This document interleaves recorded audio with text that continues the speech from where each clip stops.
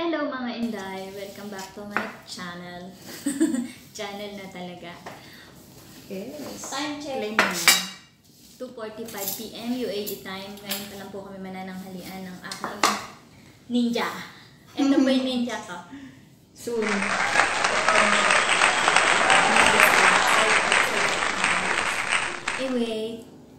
Po sa lahat. Ay, gusto kong magpa-thank you kasi nag 119 subscriber na ako. Yay!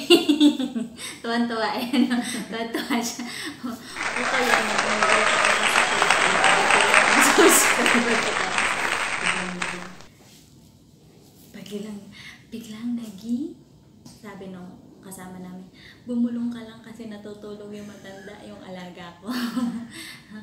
Tapos biglang naging, ilan na ate? 119. 119. So thank you, thank you po sa lahat ng nag-subscribe. Thank you, thank you po sa inyong lahat.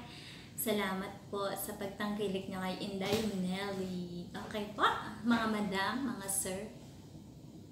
Ngayon po ay manananghalian na kami. Ang aming ulam ay sardinas Sardinas. na may kamatis. Ulam ni ulam ng pangmasang ulam at nilagang itlog. Dahil wala na po kaming oras na magluto, yun na lang po ang aming pagkain sa tanghalian. Tsaka po Okay. kanin. Okay, Let's thank you Lord for the food we eat. Let's start Jesus' name, eating. amen. Thank you, Lord. Ayan po ang aming food. Hmm. Sardinas po dito sa ibang bansa ay mahal sa kaya carry na po ang pagkain. Salamat dahil meron kami makakain. Hindi pa rin kasi kami nakapalengke. Wala kaming driver. Yung aking madam ay busy-busy sa ano, pamamas pamamasyal pag-attend ng Kaya wala party. kami taga-drive. Kaya wala kaming taga-drive. Ano naman, yung aking madam taga-drive.